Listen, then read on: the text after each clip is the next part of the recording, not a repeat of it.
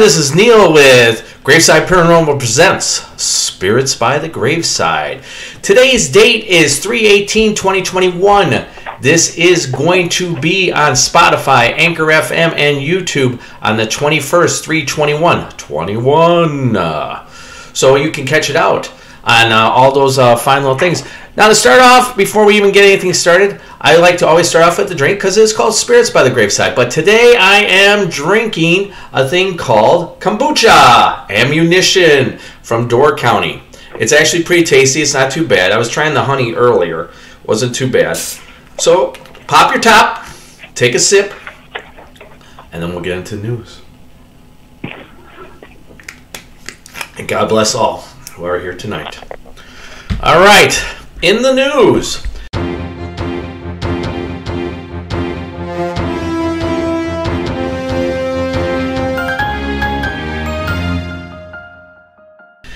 Happy St. Patrick's Day weekend. I'm saying Happy St. Patrick's Day. It's been a great week for the Irish. I am an American Irishman. Uh, so I say to each and every one of you, Happy St. Patrick's Day. And for all my adopted friends, that means the ones that are out at the bars and having a really good time. You know, and uh, men finding women and women finding men and just having a good old time and uh, having those spirits. And Happy St. Patrick's Day to everybody from uh, Graveside Paranormal. Moving on, Amityville news. We are just the interview we did last interview was about Amityville with uh, Paul and Kit Proctor, uh, Garrett, Garrett Proctor.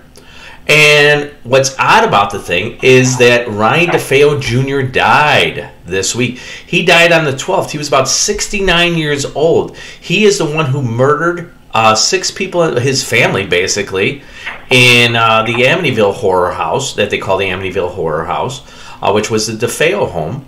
Um, yeah, it, it's a very weird and ironic, at least to me it is, because we did an interview just recently about it. Uh, it's a very good uh, interview. I thought it was a lot of fun. I had a great time. So check that out on our YouTube thing. If you haven't got caught up on any of the new things that we're doing, uh, check that out. That's a lot of fun.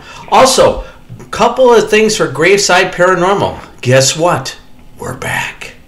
We are doing a Graveside Paranormal tour. We are going to be doing it on uh, May 8th from 1 p.m. to 5 p.m. We are bringing back our Tragic Innocence tour. Tragic Innocence tour, boys and girls, is basically all the young innocents who have died. And we're going to take you to different places. Of course, what we're going to do in Archer Avenue. We're going to make sure that we do over there. We're going to do many different other places that we're adding on uh, for our new tours that are be coming up in October. So we're going to be trying to come back and we're going to be hooking up once again with 115 Bourbon Street.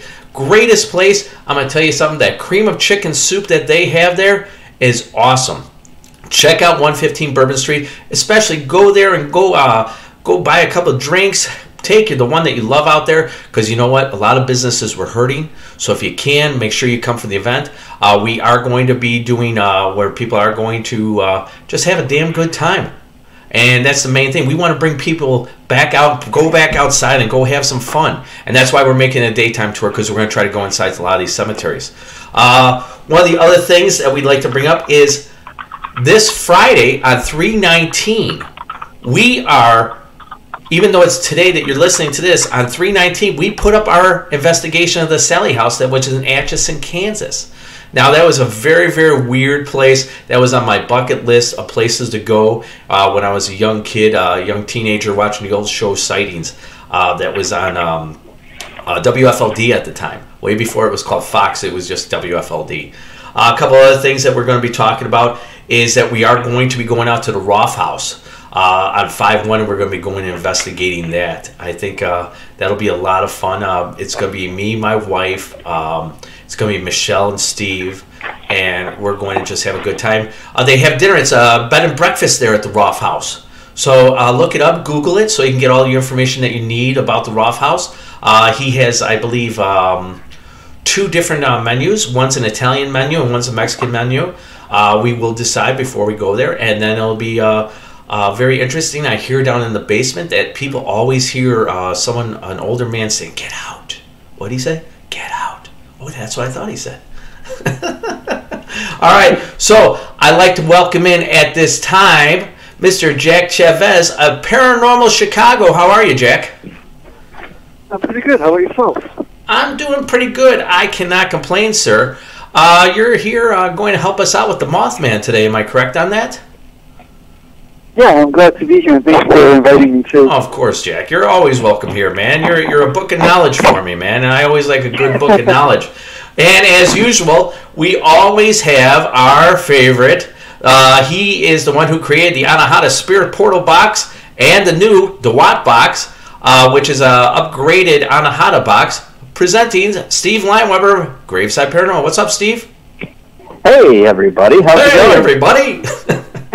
Steve? You know, hi, Jack. You know, tonight I'm a little bit nervous about the show. Why is that? My mom is going to be listening. Whoa. So get this, Neal. What's I that? talked to my mom, find out how she's doing. She goes, "I'm a fan of that, Neal." I'm like, "What?" I've been watching that uh, Spirits by the Graveside. I'm like, "Ah." So I'm like thinking to myself, she's going to be listening to this. So I got to, hi, mom, for one. Two, I got to make sure I don't cuss tonight. We'll, we'll, we'll try. We'll, we'll do our yeah. We'll do our best, Miss Lineweber. Now I hear that Miss Lineweber is uh, my uh, number one fan. She is your number one fan. Uh, she asked, yeah, instead of asking how I'm doing, how's Neal? Yeah, yeah. You get a lot of phone calls like, "Hey, how's Neal doing? I'm doing fine. I'm doing great. How are you?" But let's get into the show then, okay? We tonight are going to be talking about Mothman. We're going to talk about the beginning of Mothman, and then we're going to try to talk about the new Chicago connection with Mothman. Uh, but let me uh, talk a little about cryptozo- cryptozoology. Is the search and the study of animals whose existence or survival is disputed or unsubstantiated, such as the Loch Ness, Mons- the Loch Ness Monster, the Mothman, or Bigfoot. Let's start us off at Point Pleasant, West Virginia, November 15th, 1966. Two young couples witness a huge winged creature attacking the car, scratching at the car. They recall a seven foot to eight foot tall, very dark creature with red eyes. That is crazy, man. So that brings me to you, Jack. Jack, please fast forward us just about almost one year after. On the Silver Bridge on Ohio on the Ohio, Ohio River in Point Pleasant, West Virginia. Tell us what happened, Jack. Yeah, so it was uh, it was just before Christmas, and there was uh, several cars on the bridge. So the bridge was packed uh, with cars, with uh, people, you know, getting ready for the holidays and whatnot. And um, the uh, the bridge actually collapsed, and all these cars, all these people fell into the river, um, the Ohio River, and what ended up happening was uh, 46 people were drowned. That's a lot of and, people, man. Um, that's a lot of people, yeah. Not not all the bodies were, were recovered as Mhm. well. And I heard that uh, they had a hard time getting that bridge back together because originally the bridge was uh, built in 1929 and was actually described to last 100 years, but it didn't even reach 40 years. Yeah, uh, you know, uh, as often happens with like you know these big industrial projects that took place, you know, in the in the early 1900s, you know, took place during and the post-industrial revolution. Unfortunately, a lot of them weren't adequate, and and that's what happened uh, to the bridge. Uh, I know there was some reparations even after um, after the bridge was built, but it it you know obviously it wasn't uh, good enough to to do what it was supposed to do, and um, and uh, it yeah that you know it collapsed. So tell us about the Mothman.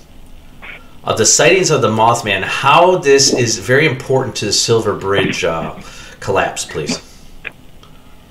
Yeah, so you have to go back a little bit. So, um, the journalist John Keel uh, arrived on arrived in Point Pleasant, West Virginia, in 1966 because uh, all these reports, uh, all these various paranormal phenomena reports were coming out of there.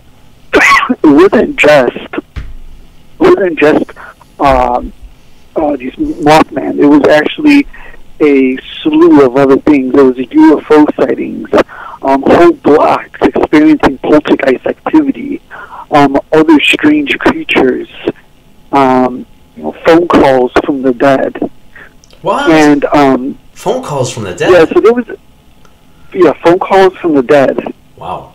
And uh, phone also phone call other mysterious phone calls from people that were living but claim that they did not call the person that they called. So um, John Keel arrived on the scene and he starts talking to uh, the residents of Point Pleasant, West Virginia. And he's documenting all of these strange phenomena. And he comes to a conclusion that Point Pleasant at this time was experiencing some uh, vortex in the town. You have to remember, uh, Point Pleasant is a small town. It, it was even smaller back then in 1966, 67.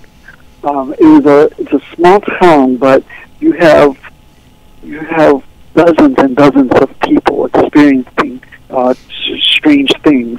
hmm And one of the most curious them was Mothman. Right. Uh, Mothman was said to be a being that was between six to eight feet tall, with not what we would describe as a head, but more of a head that rests on the chest, Okay. with large, uh, ruby-colored eyes that sit on the chest Okay. um, with a large uh, wingspan. Um, now, see, the wingspan is a little it's a little tricky because some did describe it as more bat-like, some described it as more bird-like. Um, but a, a large wingspan, no arms, hmm uh, a bipedal creature, hmm and and and no no distinct face. Right, and they said uh, some people said that um, it would stagger left to right, never really walking forward. Am I correct on that? Yeah, like it did. Um, some some people described it as a as a penguin-like walk. Some described it as you know, like as it was trying to learn how to walk. hmm And one of the most famous uh, cases that came out of uh, the Mothman sightings in Point Pleasant was uh, Linda and Roger Scarberry. hmm Um, they were uh, just a young couple at the time, and they were with two of their friends in the back seat, and they went into what was known as a TNT area. It used to be a World War II uh, ammunition uh, factory, and uh, that was uh, since abandoned. And so, you know, a lot of the kids would go out there and just, you know, goof off and stuff. Mhm. So they went, they were, they drove over there, and they saw what they didn't know what it was at first. You know, looked like a bird or a bat, but they, you know, as they got closer to them, they saw it had large red eyes, that it was as tall as a man, and, you know, they freaked out, they sped away. Uh, the creature was uh, able to catch up with them, even though they were going, you know, 40, 50, 60 miles per hour. It was able to catch up with them Wow, that's and fast. uh, and they were they were terrified. They went to the police. Um, it made the papers. Police was skeptical, obviously, and uh, you, you know even years later, decades later, Linda Scarberry, when she was interviewed, she would say that she would never she will never forget those eyes, those red eyes. Mhm. They terrified her. Uh, she said that they were as large as as the um, headlights of a of a car. Right, and there was many different eyewitness accounts before the disaster of the Silver Bridge. One eyewitness account was a young girl. Um, she was going out the backside of her house, and she said uh, she described exactly what you're talking about in uh, her backyard, and she called out to her dad and told her uh, what she saw.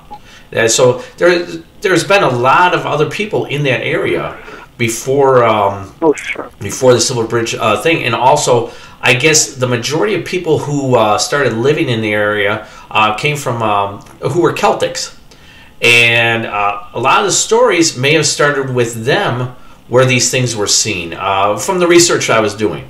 Uh, have you heard about stuff like that at all?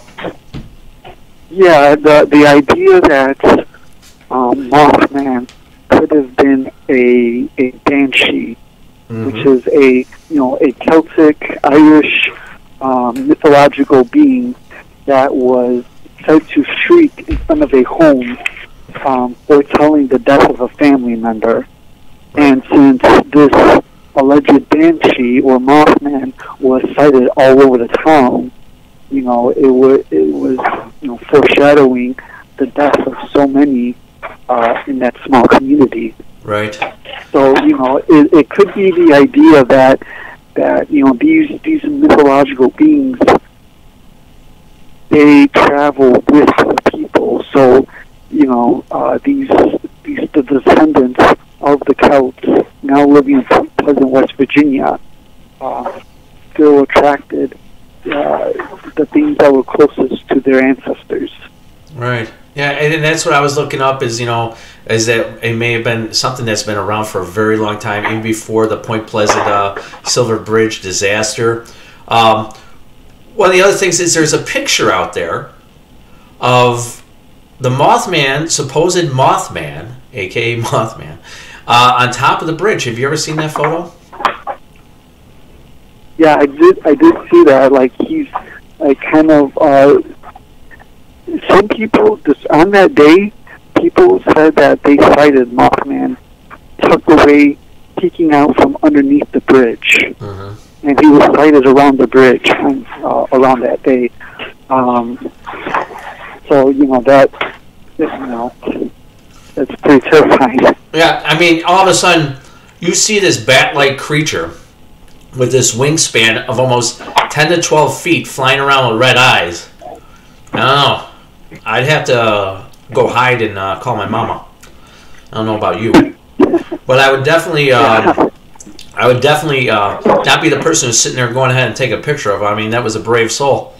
And uh, the thing was that happened, and this is how the legend begins. And part of the story is that when they see the Mothman, a disaster happens.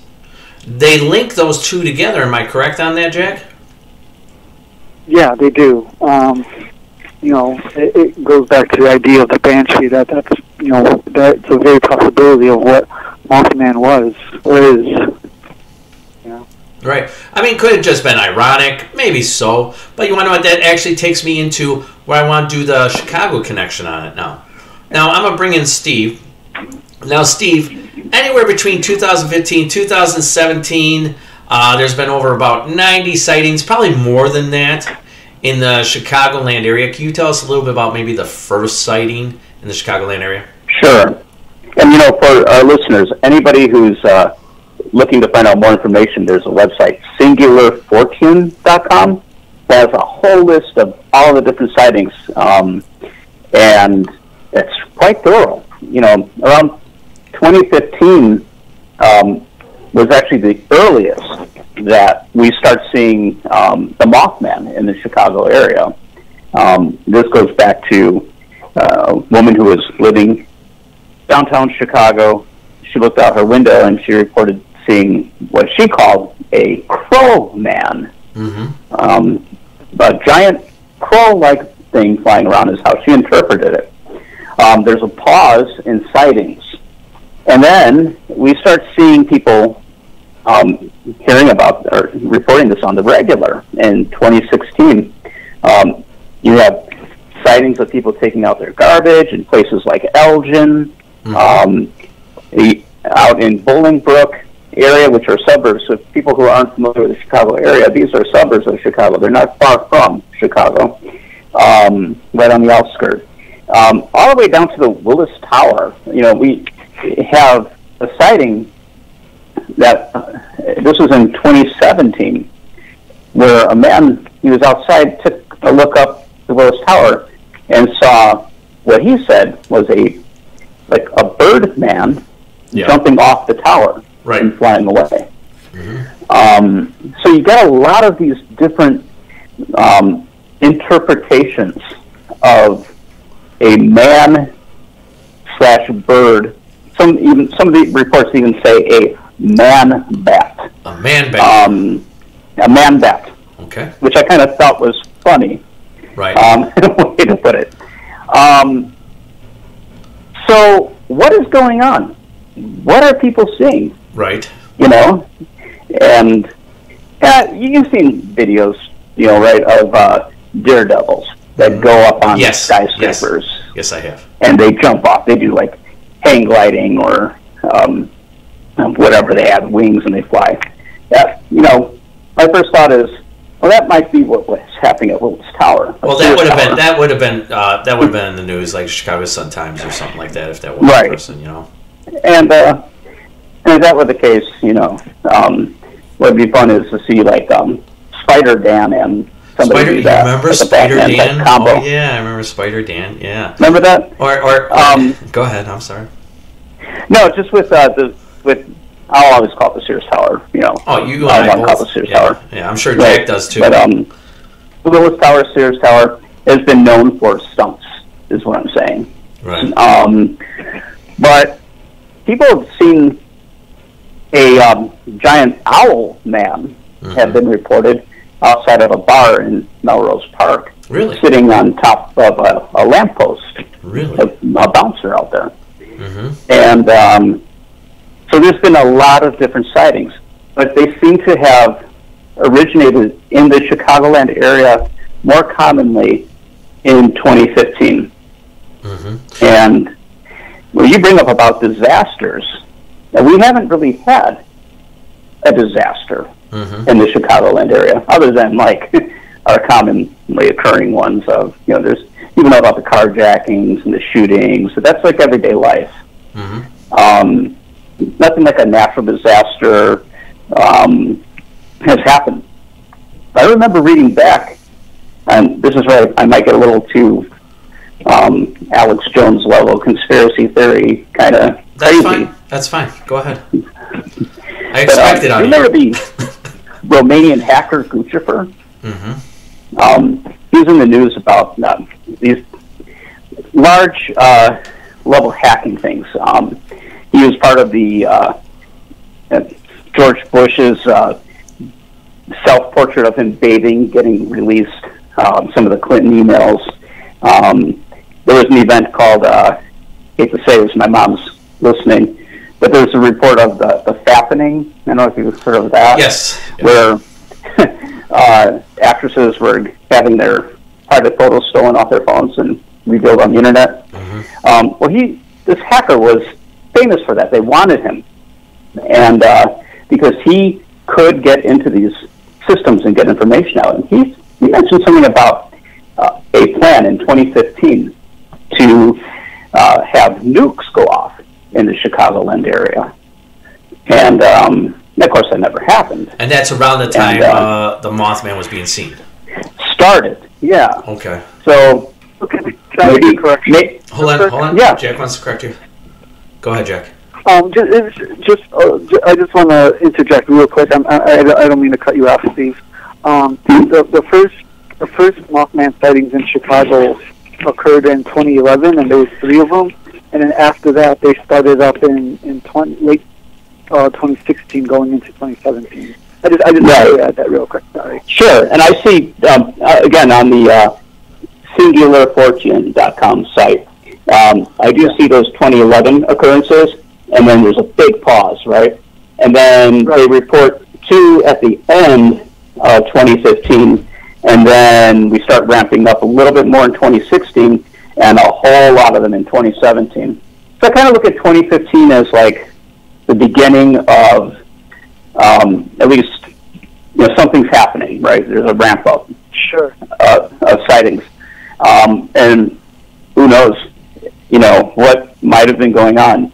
Is there always a disaster with the Mothman and the sightings. Well, you know what? Um, one of the things that I read in one of the things is that in Michigan during the time, uh, but this is 250 miles away, uh, that one of the dams broke or something like that. But and there was no sightings. I did check to see if there was ever any, any sightings around the Michigan area. As far as I found out, there were none.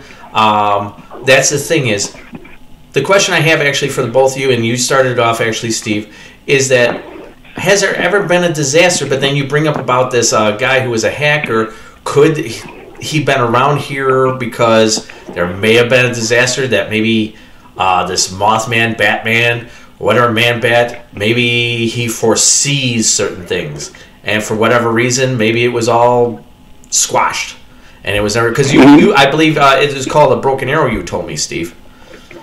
Well, yeah, there are actually um, 32 broken arrows that have been reported in the U.S. And by broken arrow, those are either nuclear accidents or mishaps, um, or worse, missing nukes. And in terms of missing nukes, there are six missing nuclear uh, warhead weapons and cores, uranium cores, um, from inventory from the U.S. Uh, arsenal since 1950. This goes to mishaps in 1950s, 60s, and 70s, uh, where nukes have gone missing, never to be recovered. Mm-hmm. Like B-47 bombers uh, who were flying from the U.S. to Morocco. And They were supposed to refuel up in the air, and they would just disappear off radar. Hmm. And the planes, the pilots, and the warheads were never recovered um, officially. Mhm. Never recovered. Now, now, Jack. So No, I'm sorry. I'm sorry, Steve. Go ahead. I'm sorry. No, just that you know there are missing nukes out there, and it is a possibility that you know they could have been recovered. And this Guccifer character um, may have been reporting uh, something true, and maybe making it up. And maybe, But maybe the maybe the Ah, Mothman yeah. foresaw it. Yep. Just see, it's odd that it was around that time. Right. Now, Jack, do you know of any uh, things out there that could have possibly been a disaster between this time period to now? Because I believe the last time was October of last year. Am I correct on that, Jack? The last sighting? That's correct. Yeah, in the Chicagoland area. Yeah. Okay. Um, no, I would agree with Steve that there, we really haven't haven't had like a major disaster in Chicago. I mean, you could argue Chicago was always in a state of disaster, Sure. but Yeah. we haven't really had one like like uh, the Silver Bridge and you know Pleasant. Right. So I kind of take a little bit of different approach where I kind of feel that um, the sightings in Chicago actually aren't, you know, the same as the Mothman of Point Pleasant. I Mhm. think uh, they there's a possibility that they are two different uh, phenomena. And you know what? I'm Um, going to. I want to get into that. Believe me, we're going to actually head into that. Uh, but one of the other Oh, questions, okay. one of the other questions uh, I wanted to ask was, is there a similarity, Steve, uh, between the 9/11 and believe me, this is going to lead into what you're just starting with, Jack. Is there anything that had, there was a sighting on 9/11 or before 9/11 of the Mothman? Am I correct on that, Steve? There was um, sightings even after 9/11 uh, happened, like shortly after. But yeah, people were seeing um, the Mothman, and um, one uh, one guy, uh, Steve Moran in New York, uh, is known to have uh, gone out um, right after the towers um, fell, taking pictures. Mm-hmm. Um, a lot of people went out there and did that. They were taking pictures of uh, rescue workers, is, uh, what they couldn't believe. You know, they were seeing um, before the buildings even fell, right? All of the first responders, um, people looking up in the sky, all the rumors. He's out there taking pictures. And there's a couple famous pictures that uh, Steve Moran took and put up on the internet um, of a what looks like a to me it looked like a pterodactyl. um, Mm-hmm. but um, as he explained it, he he says it looked like an angel to him, uh, a big winged um, creature. Mm-hmm. Um, and in his mind, he thought of it as an angel um, sent down to maybe observe or protect. And we all know what a fallen angel is. Right. Um, so then we get into what are cryptids and so forth. Like there have been a lot of sightings, um, even with 9/11, before 9/11, even. Also, you know, Chernobyl had Mothman sightings Mm-hmm. before the meltdown, as well as uh, Fukushima. Um, a week before the Fukushima meltdown, before the earthquake and tsunami occurred, there's uh, two, and there were two gentlemen who were walking around the nuclear plant, and they felt a whoosh go by them, and they described what they heard after that as like uh, the sound of old rusty brakes that on a bus that needed to be repaired, like a big screeching sound that got their attention. And they turned around, they saw this winged creature Mm-hmm. um, over the plant. That that winged creature then circled the plant about seven times Wow. before before disappearing. Anyway, they kind of like thought that was really weird. Then they started to question what they saw. Mhm. A week later, uh, the events of the Fukushima power plant, oh, you know, uh, happened, and that's when they started looking into what they saw, and they believe that it was the Mothman. So those are pretty recent tragedies Th- that that's, happened. yeah, in the timeline, I guess it is recently, yes. Yeah. In the, well, Chernobyl a little further back, but still, it's still in our, you know, it's our um, timeline. Yeah. yep, But uh, uh, during our lifetime. now, let me get to. let me get, oh, go, I'm sorry. Go ahead. Sorry. So yeah, there's uh, there's occurrences that are happening not just in uh, the United States and the Midwest, right, in the East Coast, Midwest. Um, these things are happening around the world. Sure. And so that brings me into Jack. Now, Jack, in the beginning, you talked about that in Point Pleasant, uh, West Virginia, that other sightings were seen, UFOs, uh, possibly a vortex in the area, um, other things Right. that were seen, Bigfoot. Am I correct? Did you say that? Uh, yeah, other creatures, other uh, cryptozoological creatures. crypto creatures. Um, I really do believe we live here in the Chicagoland area. We have Archer Avenue, which I, I my always thing is that there's ley lines laying underneath uh, Archer Avenue, and they activate when they want to activate. And we've had sightings in Tinley Park and Hickory Hills. I believe that there is some kind of vortex or something luring people. Could have been the Arlington National Laboratory that was here originally. What do you think, Jack? Uh, yeah, the um, are you talking about the Argonne Laboratory? I mean Argonne, Arlington. Sorry, Argonne National Laboratory. I'm sorry, pardon me. No, yeah, um, the Argonne Laboratory is really interesting actually because uh, I was thinking about that too in connection to to other strange phenomena. But um, Argonne Laboratory does they do very um, classified experiments.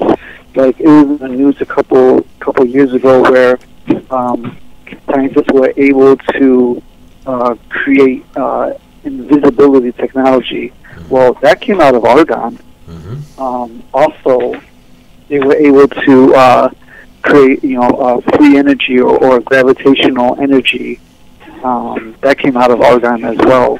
Um, I mean, talk about talk about different forms of energy. Yeah, in the Archer Archer area and in Chicago in general, I think there's a lot of ley lines in Chicago, and that what that's what makes it so potent with uh, mystical mystical energy. Um, Right, and, and what that's was your original question? I'm sorry. no, no, no, that's all good, dude. Uh, the thing is, so no, you're absolutely right. Could certain things that happened in the Chicagoland area, like the laboratory, the Argonne National Laboratory, could the ley lines, people start seeing UFOs? Could there also be a vortex in the Chicagoland area, like some people believed in West Virginia? I think so. would both of you guys agree with possibly that uh, theory?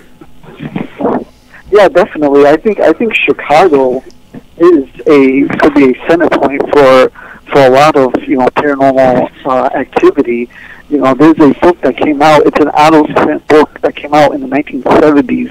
Uh, it was written by, I believe, it was the author is Brad Steiger. It's called Psychic City, and it was about you know his journey through Chicago and interviewing you know psychics and people with a different psychic ability, and how they also you know connected to Chicago, Chicago is giving off you know um, giving off this energy that allowed them to hone in on their abilities. Um, uh, just today, I don't know if you saw my Facebook post, but I posted about the uh, Waubansee Stone, which is now um, it's a collection of the Chicago Historical Society, but they it is suggested uh, by historians that it was used as a human in human sacrifices, and it was found at Fort Dearborn, which is the birthplace of Chicago. So you know, what if what if you know there's this certain power in Chicago, this this this dark energy that flows through Chicago because it's in the ground and it's been in there since prehistory. And it's drawing in uh, things uh, from the supernatural. Exactly. I, I, I, I, I'm always very open minded. I'm not going to say, yeah, that definitely is. I'm open minded to the thought of it, and I'm open minded to go out and get evidence of it. And I think that would be really, really cool to do. And uh, and I did read uh, that thing that you were talking about your stone. I, I thought that was very, very interesting. I did listen. I, I think you put it out there around four o'clock this afternoon. Um, Yeah. so then I got another question for the both of you, and I'm going to throw this to Steve first. The Mothman is described as a bipedal winged humanoid of a dark color, ranging from a dark brown or to a black, ranging from 7 feet tall to 8 feet tall with a wingspan of 10 to 12 feet, with either reflective red eyes or glowing red eyes. Steve, what do you think is flying around the area? Your opinion. What I really What do you think? well, maybe you know, it kind of shows up when um, bad things happen, right? Yes. Um, maybe he's just like a really lousy vigilante, and uh, and he's like trying to stop these things from happening, but he's really not that good at it. Uh huh. so like, So he's like down in his ma- he's down in his mom's basement. And he's like he's watching Justice Yeah. League, and he's getting ready, and he's going, and he hears his mom going, "Ah, Junior, it's time to go to bed." Oh, ma, I'll be right there. And then all of a sudden, he's secretly putting on his Batman costume, going out to Right. fight for justice. yeah, and uh, you know, I don't know. He shrieks a lot, you know, yells and screams. Now I don't know. I, I'm kind of joking around, right? Like, Of course, of It, it sounds like Batman, you know. Sure. like, you know, if you when I first heard about the Mothman in the Chicago area, Chicago with all its Gothic architecture and stuff, I think, cool, it's Batman, you know. Um, that was my hope, my wish. Yeah, actually, you called me. You called me when uh, you started hearing all this Yeah. stuff. You called me, Right, I did. Yeah. Like, dude, Batman. Batman. And um, but honestly, um, there it's interdimensional, maybe, right? Like, Some people believe that. I don't know if it's a physical, physically real phenomenon, right? But like, do you think that maybe people are capable of picking up on a disaster about to happen, kind of like animals, right? This is a more Yes. primal thing, Mhm. right? Where animals can sense an earthquake and all that stuff, right? hmm But maybe we pick up like those vibrations psychically Sure. And the Mothman is some sort of like symbol genetically embedded in us, like a monster, a myth from the past that our ancestors believed in, right? And it's like coded into our genes. So like when we sense a disaster is about to happen, you know, that collectively we start to have people in our society start to connect to that energy and start seeing this Mothman. You know, Maybe. it's like a uh, a group hallucination, if you will. Someone did say that. I remember reading that that someone believed that uh, people were seeing some kind of group hallucination. hmm So yeah, it's always a possibility. Right. So, what are you determining that what you believe it is truly? I, I think there's something there, right? Mm-hmm. Um, I don't. There's been no physical evidence of the Mothman collected um, for science to review, right? There's no bodies of a Mothman creature, you know, have been discovered. Kind of, we get into like the whole Bigfoot thing, right? Right. Um, is he real or is he not? Um, what we do know is that people are seeing this thing. They're, they're believing, they believe that they see it. The people who have been reporting these sightings sound credible. They, I'm not sure why they, would make it up. Um, but this isn't just Chicago. This is these are sightings around the world. They describe the same thing: a big winged man, humanoid, Correct. um, present close to him around the time of the major disaster. Mm-hmm. Um, so it is definitely uh, something occurring um, in the perception of people, whether it's a physical um, thing out there or, or a psychic thing. I don't know. I don't know. Okay. Um, but I think I don't think it's uh, fake. Okay. So it's something that should have to we have to get more physical evidence on then. We need to, and I think we should search for the Mothman. Oh yeah. Okay. You know what? I'm going to bring that up in one second, but I want to hear Jack's answer, and then I want you to just listen to what I'm going to say because I think this is going to be really cool. Jack, what do you think the Mothman is? You know, um,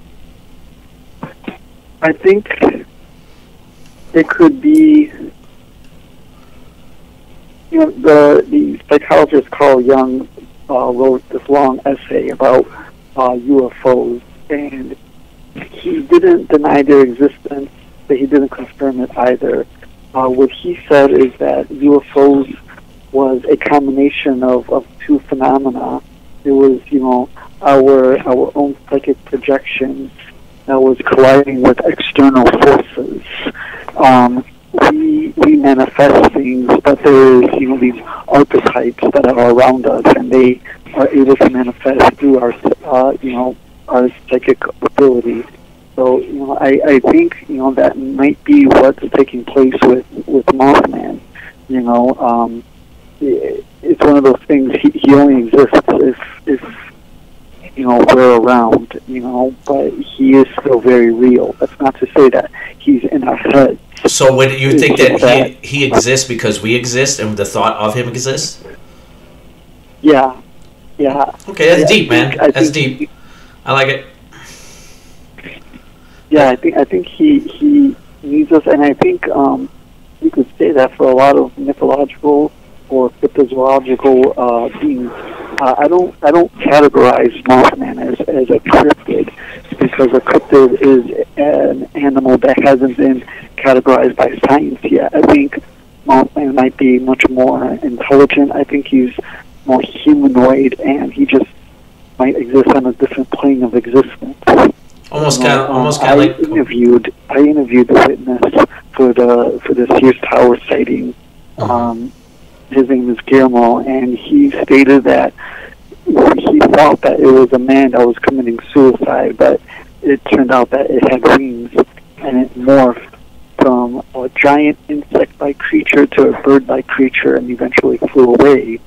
Um, I also interviewed um, John Amatrino, who he's the one that uh, had his sighting in the, in the Logan Square neighborhood uh, in front of the bar, uh, ironically called the Owl. Uh, what he described, though, was a pterodactyl-like creature. Hmm. Um, so there's there's definitely variations between, you know, between these different sightings. Right, they're a little bit different. They're a little bit different, but they're all still kind of the same. Correct?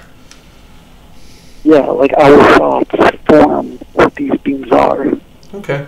All right. Now, I had to do some extra research, uh, but I like doing it.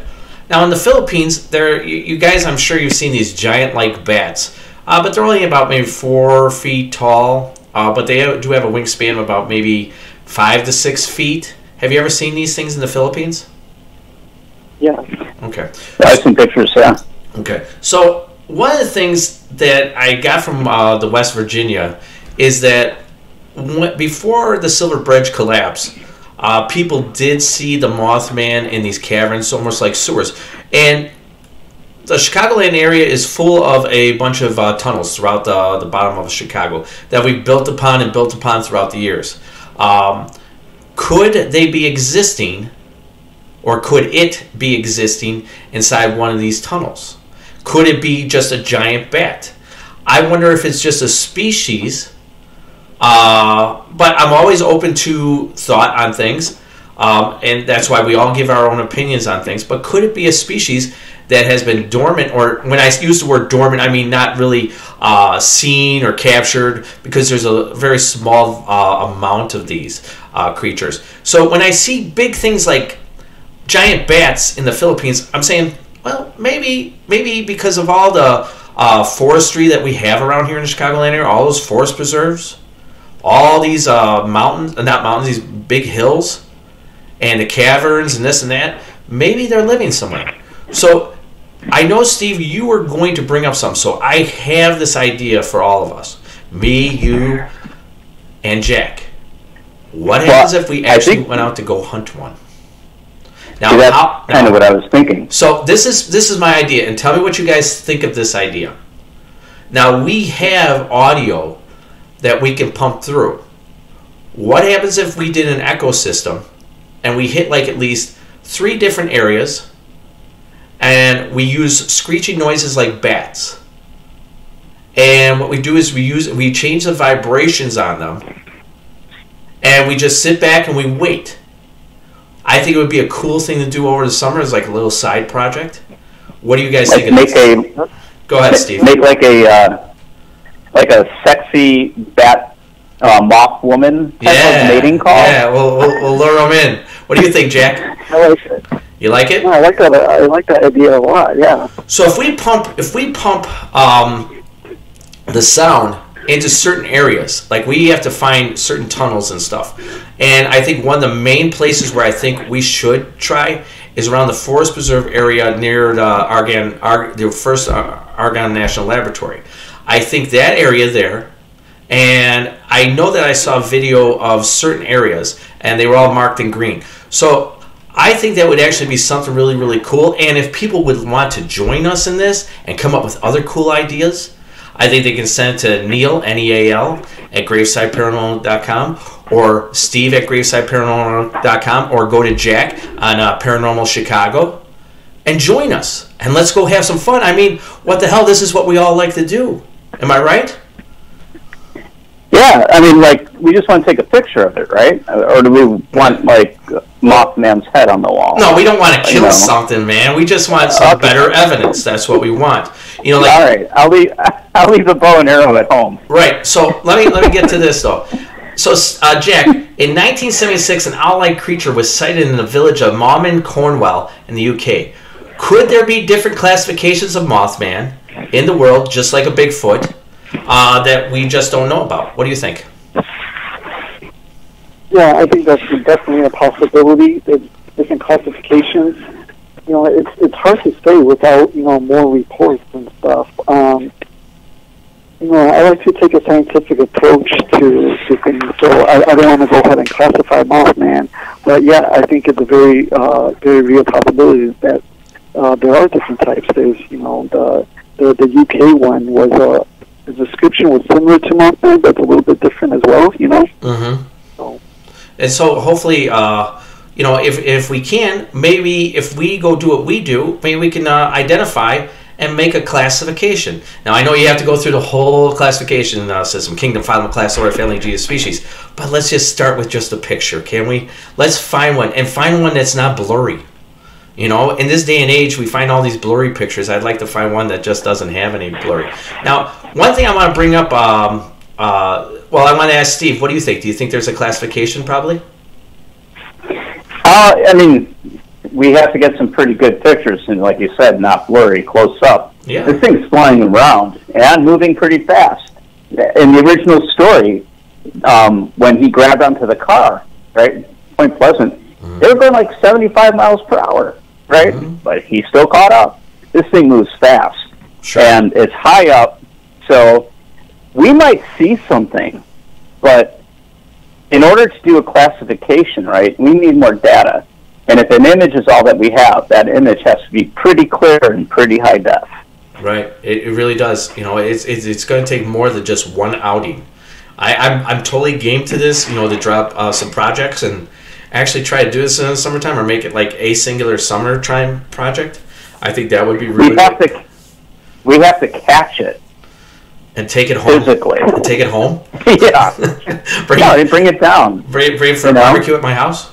Give us a Bud Light. Like okay, get some drones, right, with Sure. a net, right. and uh, yeah, I don't know, I don't know, but you know, getting a picture, seeing if we could attract it, That's that's Um, the thing is I want to see. I want to see if we can track something. be, and being able to uh, replicate that, right? Right. And have other paranormal groups go out where they are and see if they can get a Mothman to appear. Now, one of the last things I want to talk about is that I was doing some more research, okay? And in the 1970s, uh, through the National Cryptid Society, case file number 57, pterodactyl sighting in Delavan, Illinois, between 8 a.m. and 10 a.m. in the 1970s. Now, people are seeing what they believe are a pterodactyl, and some people, when they see Mothman, they believe it's a pterodactyl. Uh, another one. Then again, in 1999 in Roscoe, Illinois. And then the N- NCS again, case file number 30 in Peoria, Illinois. I think something's going on in the Chicagoland area. Jack, do you think something's going on that's just more than the Mothman, like we talked about? That maybe we're some kind of zoning in on the supernatural? Yeah, um, you know, it, it also could be a, a thunderbird. Um, Native Americans Mm-hmm. uh, believed in uh, these giant birds called thunderbirds, and it was usually sighted in the, in the Midwest area uh, throughout Illinois. So, you know, these giant supernatural birds. Um, Yeah, and they're, they're supposed to uh, like heal or something like that. The Thunderbird, am I correct on that? Yeah, that's correct. And um, there's two different um, there's two different narratives on why it's called a thunderbird. Some say that because when it flapped its wings, it was so big that it sounded like thunder. Mhm. Uh, another was because it would show up during thunderstorms, rainstorms. hmm Now, some of the other uh, sightings that we were talking about, I saw a guy on uh, Paranormal Chicago, your thing. Uh, he was saying back in the 80s that he saw a Bigfoot on Archer Avenue. Yeah, correct. Yeah. Yeah, there was that, and then uh, we got the we also got the feral beast in uh, Sacred Heart Cemetery.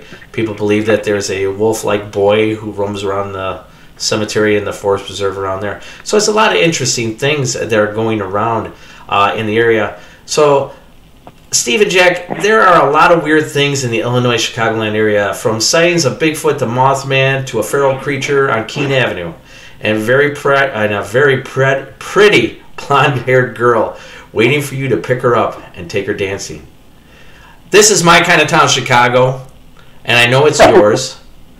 And I want to thank both of you guys tonight for coming on and talking about the Mothman. And I'd like in the future to talk about some more cryptoids. Uh, are both of you guys up for that? Sure. Definitely. Definitely. All right, well, that is the end of our show for tonight. And I thank everybody for coming on and everybody listening. And once again, happy St. Patrick's Day. Uh, please uh, watch the Sallie House that we put out Friday. I think you'll find it very interesting. Um, we are going to be having our event on May 8th. Once again, Jack, thank you of Paranormal Chicago. I want you to plug anything that you want to plug at this time, please. Yeah, uh, you can reach me at uh, jack at parachicago.com, or you could find me on Facebook, Jack Chavez. Um, that's Chavez, C-H-A-V-E-Z. Or, um, and also my Facebook group called uh, Paranormal Chicago. And we're going to be posting, you know, uh, different events, ghost investigations, and, uh, you know, I update it fairly regularly, so, yeah. Good, good, good. And I, I like your I like your page. So everybody check out Paranormal Chicago on Facebook. It's a really cool page. Everybody's always putting up uh, things on there, and I, I find it very cool. Uh, Steve, as always, uh, I thank you for coming on. The creator of the Anahata Spirit Portal Box and Graveside Paranormal. Uh, Steve, do you have anything to plug yourself, sir? Uh, no, I mean, just, uh, hey, if you're watching this on YouTube, give us a like, click subscribe, hit the bell, all this good stuff. Uh, we really uh, want to get our subscription up to at least a thousand because Neal and I once we have a thousand subscribers, we can go live on our mobile phone Yep. and bring you Man. Some really cool, spooky things. And let me tell you, that's our life. Yeah. Neal and I are always out there doing something fun. Yeah. and once we get a thousand subscribers, we can share it live with you wherever we are. And once again, maybe we'll be out there looking for the Mothman. You can join us. So that ends up our show, boys and girls, children of all ages. And as always, boo.